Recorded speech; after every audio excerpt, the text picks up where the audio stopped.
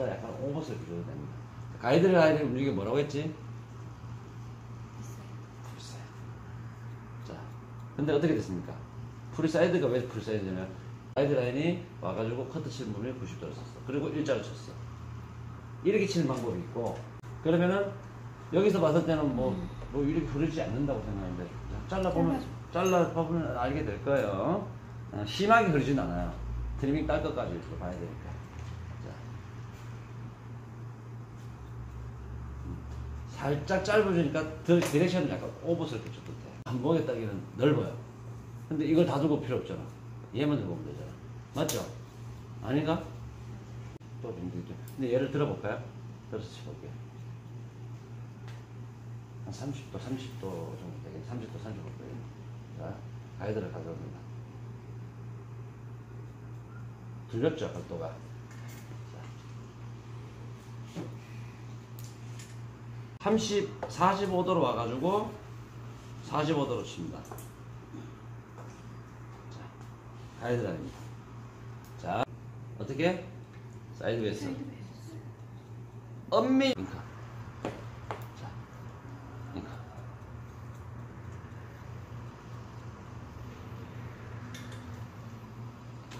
자, 진행합니다. 한번 가보자고요. 의심하지 말고. 나는 저는 이제 침에서 중간중간 코너를 제거합니다. 자, 어떻게 친다고? 이렇게 눌러야 되나? 아니면 이렇게 해가지고 디렉션을, 선상 자체를 같이 거예요. 같이 잡아야 되나?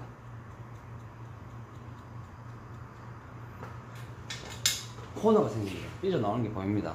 이거 다 제거하려고 하지 마세요. 그냥 슬쩍슬쩍 첫 연결하듯이 그냥 건드리면 됩니다. 아, 자, 진행합니다.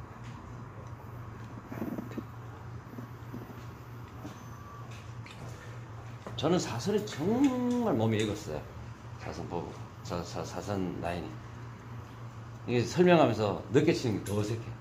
박스 형태만큼은 빨리 쳐요, 사실. 요거 남았죠? 요것도 사선으로 쳐야 될까? 아니요. 그냥 박스 형태로 떨어뜨려서 치면 돼요. 왜 그렇죠? 설명을 드릴게요. 아 길이 길이가 때문에. 실수할 수 있습니다. 이렇게 쳐서 디렉션을 잡아가지고 너무 정렬을 해야 되는데 콘을 안 건드려도 됩니다. 여기가 제일 약합니다. 빈약합니다. 뭔 말인지 아시죠? 이 부분이 약하잖아요. 여기 숱이 많고. 음. 자, 진행합니다. 자, 코너 제거.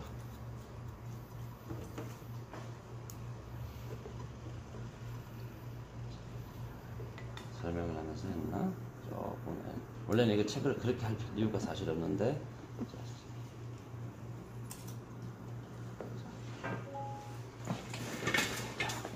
트리밍을 나중에 해도 되는데 여기서 먼저 해가 들어가 볼게요.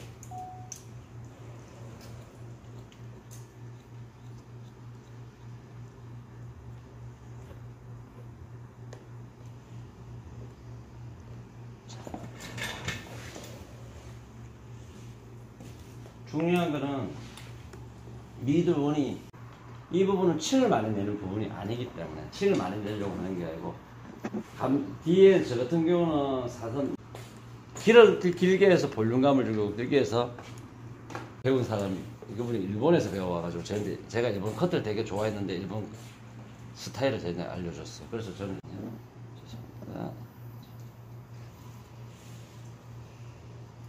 자 어떻게? 자 시. 저서 여기서 눈치 한번 채신 분 뭐가 좀 달라졌나요? 얘기해 보세요. 응? 어? 뭐가 달라? 가야지. 90도. 어, 잡을게요. 한 125도 뭐, 그 선상이겠네요. 자, 버티까지 하면 됩니다. 딴거 없습니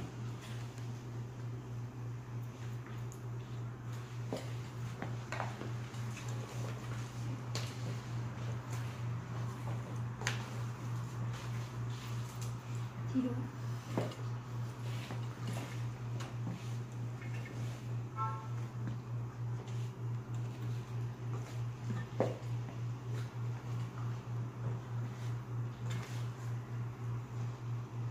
버티까지 똑같죠? 똑같지 않습니까?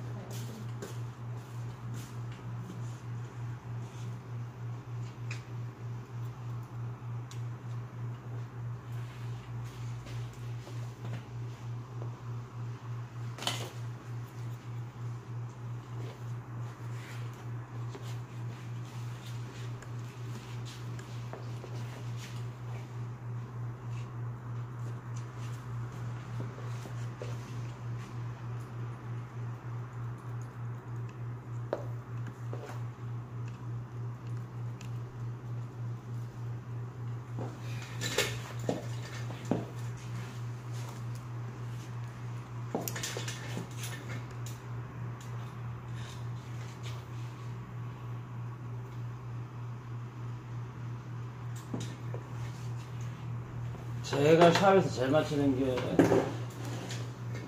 뭐, 박스 형태, vertical 형태 맞히지만, 보- 그만큼 맞히는 게 또 이거, 사선을 맞히죠. 사선을 맞히 사선인데, 요거는 보브 형태고, 보브 커트나 보브 숏을 치면 사이드 버전으로 들어갑니다.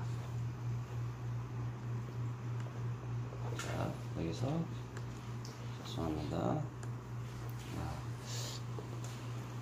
첫 경험이라는 느낌.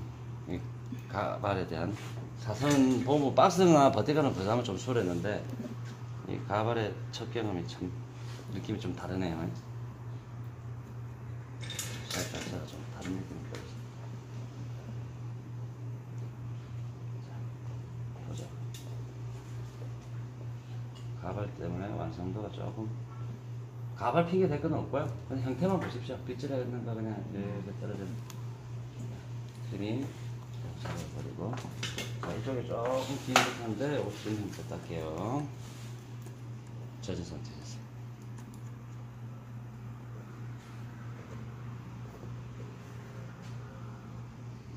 근데 안 그래요. 이렇게. 내가 어떻게 했어? 여, 여, 여기 와 있어요. 이 위치가 여기 와 있어요. 어. 자, 이거를 힘이 세면 말리고 나면 볼륨이 더 위로 올라갑니다. 거기까지 계산하고 기장을 약간 더 빼는